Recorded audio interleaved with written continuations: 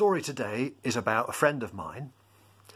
This friend of mine is very tall and he's very fat and he's got white hair and he's got a white beard and he's got a big jolly smile and he's got a very loud laugh. Ho, ho, ho, ho, ho. That's how he laughs. So, of course, when it comes to Christmas time, if you're a very tall man who's very fat with white hair and a white beard and a jolly smile and a laugh that sounds like this, ho, ho, ho, ho, ho, I'll tell you what happens to you. People say, Oh, please, will you dress up as Father Christmas? Oh, please, will you come and pretend to be Father Christmas for our school, for our shop, for our children's party? He gets that asked that all the time. Of course, he isn't the real Father Christmas. I've never seen the real Father Christmas. I'm always asleep when he comes. But my friend, he dresses up a bit like Father Christmas because he's tall and he's fat and he's got white hair and he's got a white beard and he's got a very jolly smile and he laughs like this. Do it with me. Ho, ho, ho, ho, ho. Now, at one time he was asked to go to be Father Christmas at a school for children that found it difficult to learn things in school. And in those days, there was a special school for children who found going to lessons in other schools quite difficult. And my friend liked going there to be Father Christmas, so he did it every year. And so he would come along every year, it was the same thing, and he would come along and he'd say, he'd smile his jolly smile. He'd all be all dressed up like Father Christmas in red and white. Of course, he was big, but he was fat, white hair, white beard. He would laugh like this, ho, ho, ho, ho, ho. He was carrying a big sack full of presents, and he'd say, now, who's been a good boy and who's been a good girl? And he'd smile like that and go, ho, ho, ho, ho, ho. And the children's eyes would pop out. They'd say, oh my goodness, it's Father Christmas. I wonder if he's got a present for me. And he'd open his sack. It wasn't the real Father Christmas. He would open his sack and he would get out presents. He would hand the presents out to the children. And all the presents had a name on and he would just sort of check with somebody who worked in the school to make sure that everybody got the right present. And of course, pretty soon all the children they, they got their present and they started opening them and they were very excited.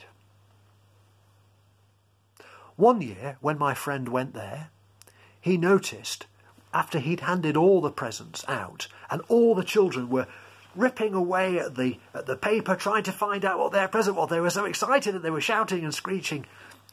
He noticed one boy at the end was sitting there quietly and he wasn't opening his present. So my friend, who was pretending to be Father Christmas, went over to him and gave him a jolly smile. And he said, Why don't you open your present? And the boy said, I'm going to open my present when I'm sure that everybody has got a present. Because last year there weren't enough presents and one girl didn't have a present. And my friend thought that he learned something that day and he can't quite tell me what that something is. But he liked telling that story about the boy who didn't open his present until he was sure that everybody else had opened their present, and only then would he open his present. Because, of course, if there was somebody else without a present, I think he was going to give them his present. Shall we say a short prayer?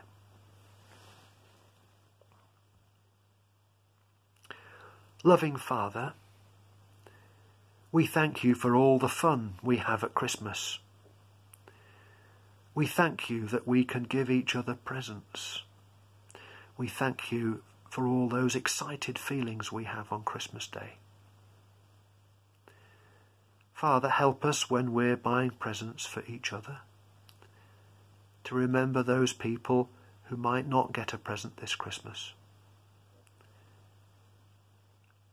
Father, we ask you to look after them.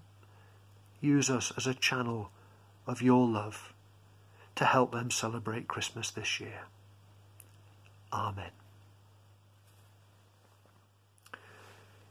Now, if you would like to help other people make sure they have a happy Christmas, you could go on our church website and see where it says Christmas Appeal, and you can see how you can send our church money, and you'll see a list of charities that we're going to share that money with. Or you'll also see on that website links to those charities if you want to pick a charity and send money to them and that will help, all those charities will help somebody else have a happier Christmas than they otherwise would. Bye for now.